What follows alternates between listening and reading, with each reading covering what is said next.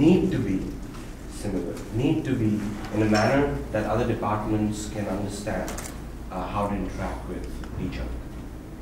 Um, there's also a problem of